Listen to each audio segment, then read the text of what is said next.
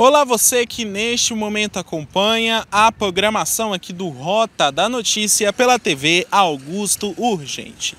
Viemos até o centro de abastecimento no bairro da Estação para conversar com o novo diretor André Luiz sobre os projetos que traz melhorias para o espaço e como está a expectativa para a chegada do mercado do produtor em Jacobina. André, mais uma vez você sendo diretor deste importante espaço.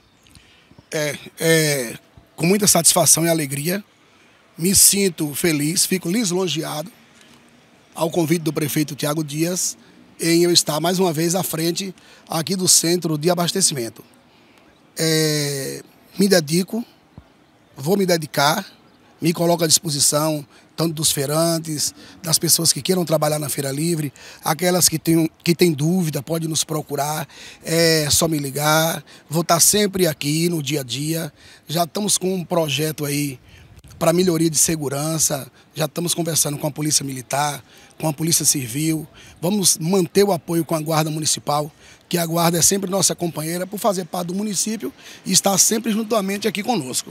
Muitas pessoas discutem sobre o dia da feira ser na segunda e outros falam que seria melhor ser na terça-feira.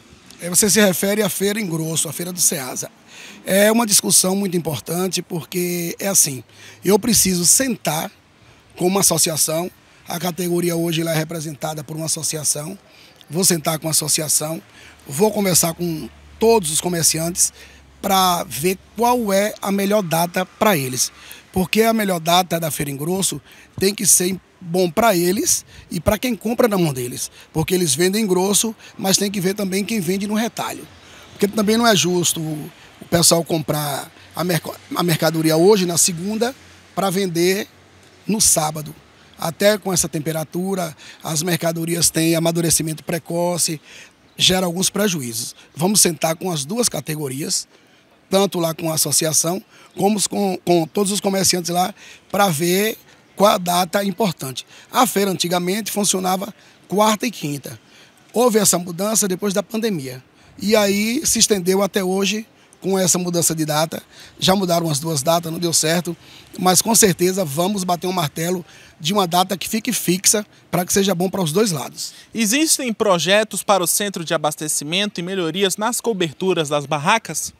Existe sim.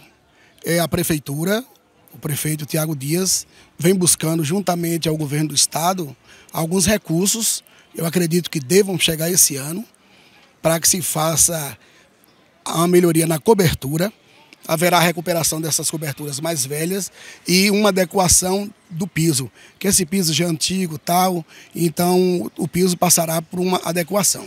Muitas pessoas não sabem, mas o Mercado Velho é uma extensão do centro de abastecimento. Existe algum projeto em mente para a Praça Getúlio Vargas? Existe sim. Lá o Mercado Velho é a extensão aqui da feira, porque para os mais jovens, a feira antigamente era naquela localidade. A feira cresceu, veio para aqui, né, no tempo de Dr. Flávio, e aí então lá continua sendo extensão aqui da Feira Livre. Há um projeto, por enquanto simples, mas vamos fazer lá uma pintura interna e externa e de início agora já vamos reformar todos aqueles banheiros. Como está a expectativa para o mercado do produtor na saída da cidade? Olha, o mercado do produtor é uma obra do governo do estado, é, a obra será importante, né?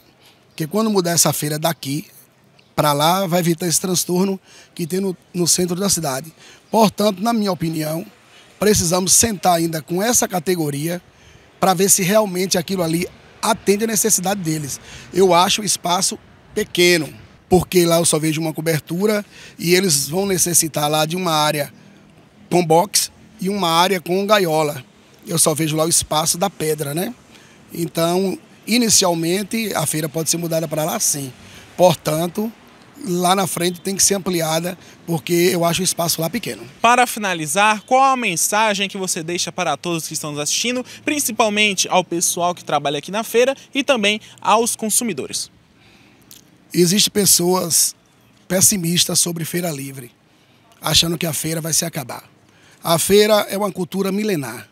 Aonde tem feira gera transtorno, Porém, todos que estão ao redor da feira são beneficiados. A feira com certeza não irá acabar. Eu até peço aos comerciantes da feira que me procure. Vamos sentar, vamos criar um projeto, vamos traçar algo para que traga o povo novamente para a feira. Porque muita gente está migrando para supermercados, procurando outras alternativas, até por falta de estacionamento. Mas vamos ver se criamos aqui Zona Azul. Vamos buscar, junto com todos os comerciantes, algo para refortalecer a nossa feira. Com as imagens de Luiz de Jesus, Felipe Marques para a TV Augusto Urgente.